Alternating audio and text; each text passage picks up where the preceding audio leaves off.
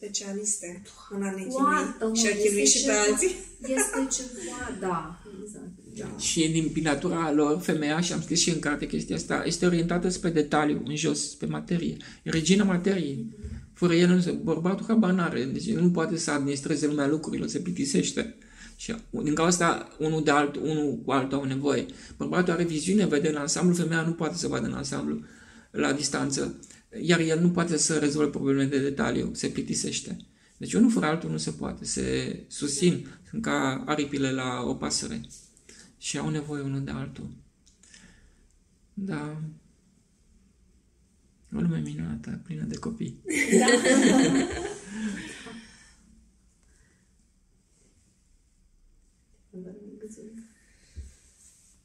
Da, mai.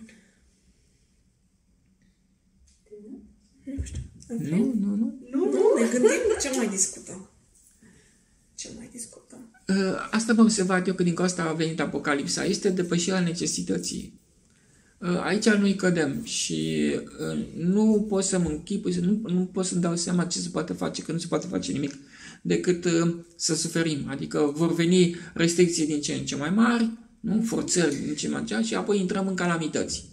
Următoarea, următorul nivel, sau molime mari, Anul de ăsta adevărat. vor veni. O Da, să și vezi. cred că anul ăsta Da. o să fie. Și O zdravele de luăm tot. toți pe câmpii. Și luăm pe toți pe Foarte- câmpii, Da, da, criză da, economică da. generală și pierdem, pierdem ce prețuim noi mai mult. Să știi că oamenii, multe, de ce puțin femeile, procentul e foarte mare, a pers- a, sunt femei, cele doamnele cu care eu lucrez, procentul e mai mare de femei, da, 95%.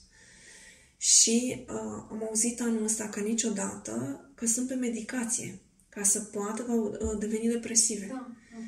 Adică bucata asta de frică, nu, care a crescut, Care înseamnă a crescut, atașament. A crescut, care de fapt a... E atașament de ceea da, ce e atașament. Da, apreciază da, da, ei. Da, da, e necredință, cum spun Necredință, eu. da. Da? Uh, și îmi, sp- îmi spun din ce în ce mai multe. Păi iau medicamente, păi iau nu știu ce ca să ador, păi iau nu știu ce medicament ca să rezist stresului și așa mai departe, știi? Adică o să fie o parte care o iau razna de tot, cred. Am citit undeva, nu știu dacă este adevărat, că e o statistică reală, dar e posibil să fie un gram de adevăr, că a crescut cu 30% rata sinuciderilor la nivel de mapamont. Este enorm. Da. Da. Și 50% dintre afacerile mici și mijlocii s-au O să închis. dispară? Da, da, da, da. da. Adică ei au zis liberalism, bunăstare, aha, bunăstare, ți le iau pe toate. da. Pe toate ni le ia. Ca să ne salveze sufletul. Șocul va fi foarte mare și va fi criză economică, foamete, lipsă de locuri de muncă, după care urmează război. Alt, alt nivel nu este. Știi ce mă gândeam? Nici generația părinților noștri și a bunicilor noștri nu au fost echilibrați și armonioși. Adică s-a perpetuat toată povestea. Pentru Omul că e noi în avem aceeași programele- poziție de mii de ani. Da, da, da. Păi da, este un da. involuat, adică... Am luat o carte și citeam pe co- coperta din spate și zicea oamenii din ziua de astăzi, uite, își fac toate plăcerile, beau, nu știu ce, și încolo când m-am uitat la autor, cine era? Aristotel. Păi da, omul e... Adică de, E același. de când lumea, ca să zic Da, așa, omul suntem e la fel. așa, presiunea este atât de mare și toată informația asta și toată manipularea asta și totul așa, că nu Asta putem dacă să intri în ea. ducem. Dacă... Pentru că dacă nu da. te mai uiți la televizor, dacă stai mai puțin pe rețele Da, de închis televizorul socializare, și dispare virusul. Dacă, da, da, da. Da, da, în colectiv oricum...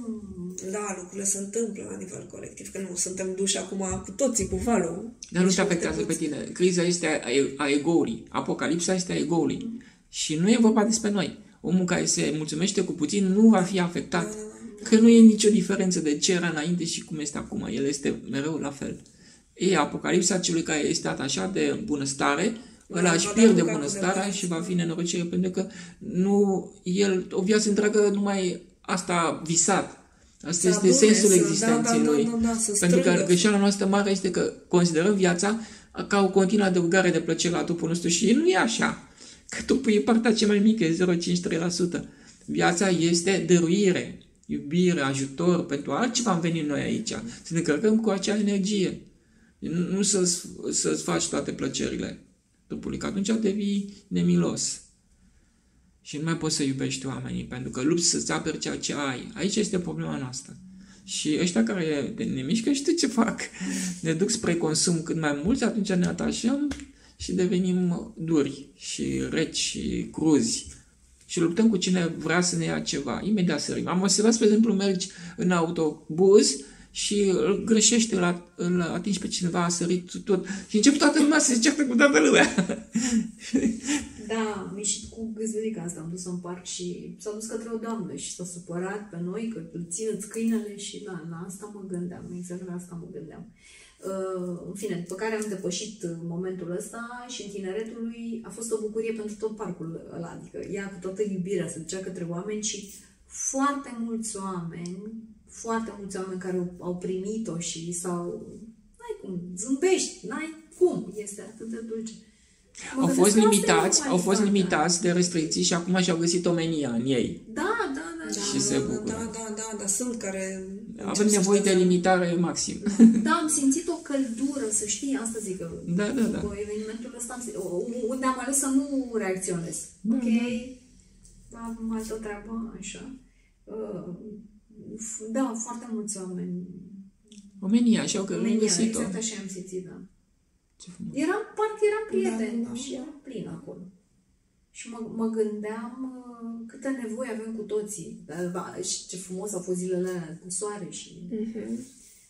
Ce puțin soare a fost în ultima vreme, parcă și asta, știi, Divinul ne Ce transmite chiar puțină și prin iarnă a asta. fost. Da, și prin asta ne transmite mult. Da, Prin tot ce se întâmplă. what's her name?